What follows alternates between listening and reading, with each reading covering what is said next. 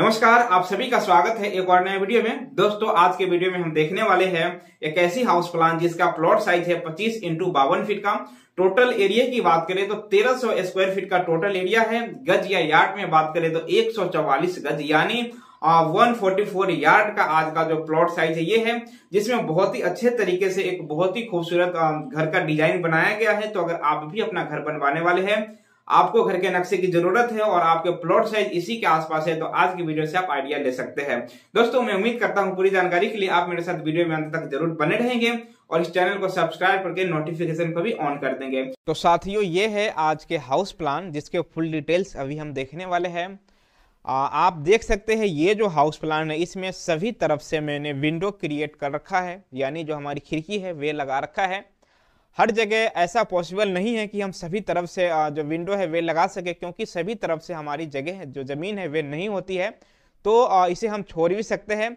लेकिन बाहर के तरफ़, जैसा कि आप इस प्लान में देख सकते हैं, अगर हमारे पास दोनों साइड या पीछे की तरफ़ जगह नहीं है तो बाहर की तरफ़ हम विंडो लगा सकते हैं। और इसका ऑप्शन क्या है, अगर हमारे पास जगह नहीं है तो हम साफ्ट बनवा सकते हैं जैसा कि इस प्लान में बना है वे भी हम अभी डिटेल्स में देखने वाले हैं। तो सबसे पहले हम बात करते हैं जहाँ से हमारी एंट्री होने वाली है यानी हमारे मेन डोर की। तो ये है हमारे जो मेन गेट है ये है और ये कुछ स्टेयर्स है जिस पे होते हुए ये हमारा मेन डोर है और इसके द्वारा हम अंदर एंटर हो जाएँगे। इसके साइड में आप देख सकते हैं एक विंडो है और इस तरफ़ आप देखेंगे तो ये पार्किंग के लिए जगह है आप देख सकते हैं इसमें भी आ, मैंने एक डोर क्रिएट कर रखा है और ये हमारी जो रैम्प है वे है जिसपे हमारी जो गाड़ी है वे आराम से अंदर या बाहर हो जाएगा। अब बात करते हैं अंदर की तरफ़, जैसे हम एंट्री कर लेंगे, इस जगह से हम एंट्री करेंगे यहाँ से।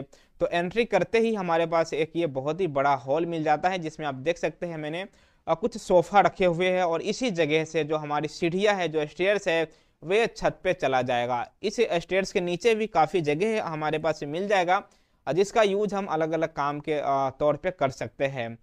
इसी हॉल वाले एरिए में आप देख सकते हैं, इस जगह पे एक टॉयलेट है और टॉयलेट के आगे एक ये वेंटिलेशन के लिए जो साफ्ट है वे छोड़ा गया है। साफ्ट के ऊपर हम जाल रख सकते हैं। और जैसा कि मैंने आपको बताया, अगर हमारे पास साइड में या पीछे की तरफ़ जगह नहीं हो तो इस प्रकार से हम साफ्ट छोड़वा सकते हैं और ऊपर जाल रख सकते हैं और उस साफ्ट से हम अटैच कर सकते हैं। छोटी छोटी विंडो जैसा आप इसमें देख सकते हैं, इस तरफ़ भी मैंने क्रिएट किया है।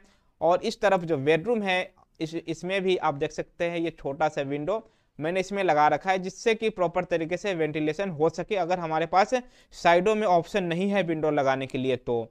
तो आगे बात करें तो ये तो हमारा पार्किंग हो गया। यहाँ पे हमारी हॉल है और इस जगह जो टॉयलेट वे है, इसी क्रम में आगे चलेंगे तो ये हमारे पास एक छोटा सा पैसेज है जो कि लगभग पाँच फीट का है। और इसके द्वारा होते हुए जैसे हम आगे चलेंगे तो इसके आगे भी हमारे पास एक ये छोटा सा एरिया मिल रहा है जिसका यूज़ हम इस तर, इस जगह पर डाइनिंग एरिया के तौर पे कर सकते हैं क्योंकि इस जगह पे हमारा किचन है और इस तरफ़ एक बेडरूम है आप देख सकते हैं। और ये हमारी किचन है और इसके आगे इस जगह का हम यूज़ आ, जैसा कि मैंने आपको बताया डाइनिंग एरिया के तौर पे कर सकते हैं। पीछे की तरफ़ दो बेडरूम है एक टॉयलेट इस जगह पे है और एक बेडरूम इस जगह पे है। तो आप देख सकते हैं यहाँ पे जो लोग रहेंगे इन बेडरूम में तो इनका जो इस टॉयलेट का एक्सेस कर पाएँगे, या चाहे तो एक टॉयलेट इधर है तो इसका भी यूज़ कर पाएँगे। तो दोस्तों ओवरऑल देखें तो इस प्लान में तीन बेडरूम है फ़र्स्ट सेकेंड और थर्ड दो टॉयलेट है, ये है फ़र्स्ट वाला और ये है सेकेंड वाला। एक किचन है, एक पार्किंग है और हमारे पास एक ये काफ़ी बड़ा हॉल भी मिल जाता है और एक छोटी सी जगह यहाँ भी मिल जाता है जहाँ पे हम डाइनिंग के लिए इसका यूज़ कर सकते हैं। इस जगह से हमारा स्टेयर्स है जो कि छत पे चला जाएगा और इस जगह हमारे पास कुछ सोफ़ा वगैरह है। अगर हमारे घर में गेस्ट वगैरह आता है तो हम उन्हें यहाँ पे बिठा सकते हैं।